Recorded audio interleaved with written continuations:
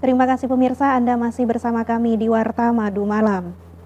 Pemirsa jelang lebaran Idul Adha atau lebaran kurban, wabah penyakit mulut dan kuku semakin ganas. Karena khawatir sapi akan terkena virus membuat sejumlah pedagang sapi di Kabupaten Bangkalan terpaksa tidak melakukan transaksi jual beli di pasar, melainkan memilih berjualan di rumah.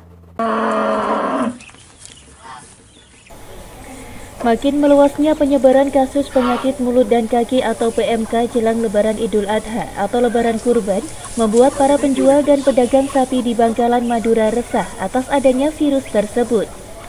Para pedagang sapi yang biasanya terlibat jual beli di pasar namun karena adanya virus PMK membuat mereka tidak datang ke pasar.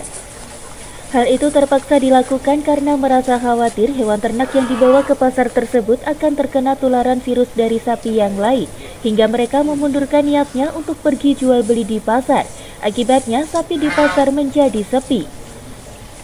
Menurut Firdaus, salah satu pedagang sapi di Desa Banjaran, Kecamatan Kota Bangkalan, mengaku sudah berapa minggu ini dirinya tidak lagi ke pasar sapi lantaran merasa khawatir sapi yang dibeli maupun dijual akan terjangkit PMK. Guna menghindari penyakit tersebut, ia memilih jual beli di rumah.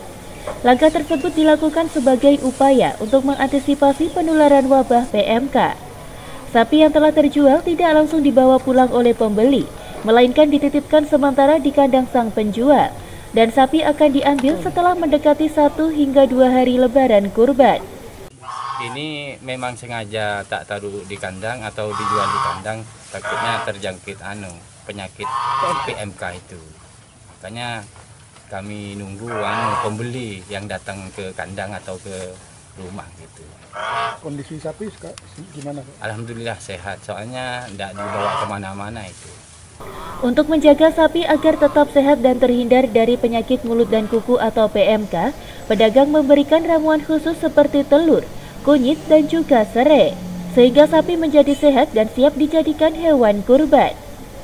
Dari Bangkalan, Madura, Jawa Timur, Abraham Madu TV mewartakan.